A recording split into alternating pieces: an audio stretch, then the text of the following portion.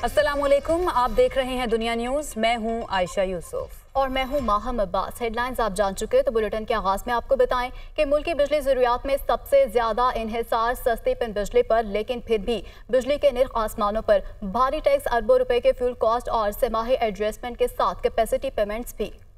जुलाई 2024 में बिजली की लागत तो नौ रुपए यूनिट रही, लेकिन बिल कैसे 40, 60 और 80 रुपए फ़ी यूनिट तक पहुँच रहे हैं। इस बारे में आपको रिपोर्ट दिखाते हैं।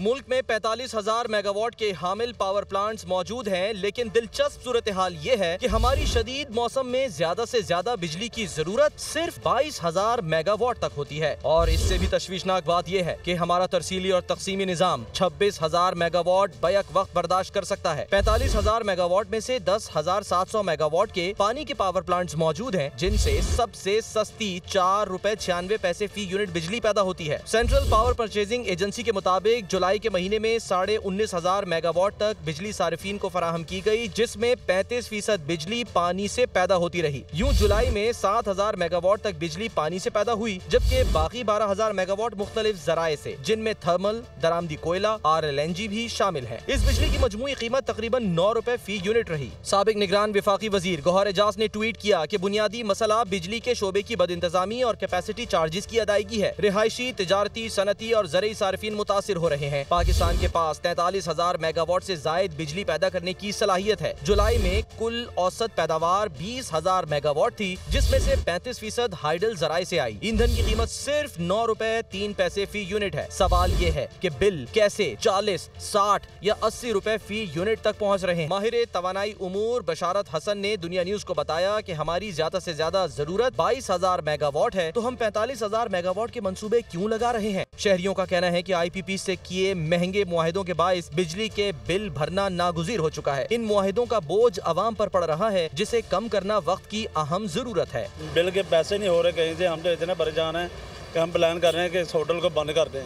इसका बिल दें या बच्चों की रोटी कमाएँ इसके अलावा हमारे पास कोई हाल नहीं। पाँच हज़ार बिल आता था आप दस हज़ार बिल आ रहे तो आप कहें कि गरीब लोग ये दस हज़ार किधर से मैनेज करेंगे? अभी मेरा पिछला बिल जो आया है वो तकरीबन आठ हज़ार रुपये बिल आया एक लाइट है मेरी एनर्जी सेवर जो मैं जला रहा हूँ। हुकूमत को चाहिए कि हमारे लिए कोई इकदाम करे।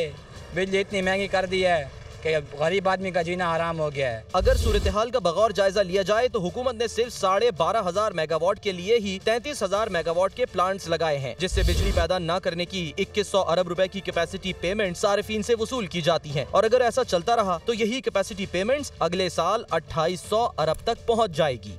वज़ीर अला पंजाब मरियम नवाज़ की हिदायत पर पाँच बिजली कंपनियों को खतूत भिजवा दिए गए। खतूत में हिदायत की गई है कि चौदह रुपए फ़ी यूनिट कमी के हुकूमती पैकेज की रकम से आगाह किया जाए। रिलीफ पैकेज के तहत अगस्त और सितंबर के बिलों में कमी की गई है, जबकि बिजली की असल लागत और रिलीफ के दरमियान रकम पंजाब हुकूमत अदा करेगी। हसन रजा की रिपोर्ट देखिए।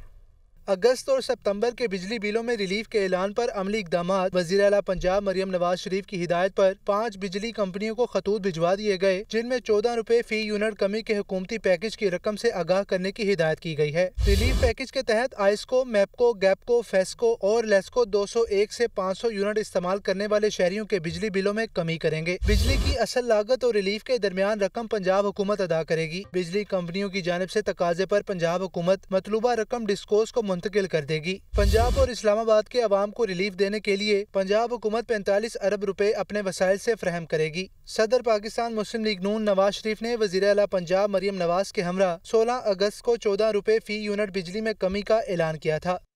सिंध के मुख्त इलाकों में बारिशों और सैलाब ने तबाही मचा दी है। बारिशों के बायस मुताद देहात जेर आ गए हैं। महकमा मौसमियात के मुताबिक बारिश का सिलसिला कराची समेत सूबे भर में आज भी जारी रहेगा। रुताबारूस की रिपोर्ट देखिए। बारिशों का जोरदार स्पेल। अंदरूनी सिंध में बारिशों के बाईस सैलाब ने तबाही मचा दी। सखर में दो सौ सड़सठ मिलीमीटर बारिश। नशेबी इलाके जेर आब आ गए। बारिशों के सबब रोड और रास्ते तालाबों का मंजर पेश करने लगे। दो दिन से वक्फे वक्फे से जारी बारिश के बायस लोग घरों में महसूर होकर रह गए। खैरपुर शहर और गिरदो नवा में तेज बारिश के सबब खैरपुर शहर समेत तहसील कोट, डीजी और पीरजो गोट में बारिश का पानी घरों, स्कूल और मसाजिद में दाखिल हो गया। नौशहरों फिरोज में भी सड़कों पर कई कई फिट पानी जमा।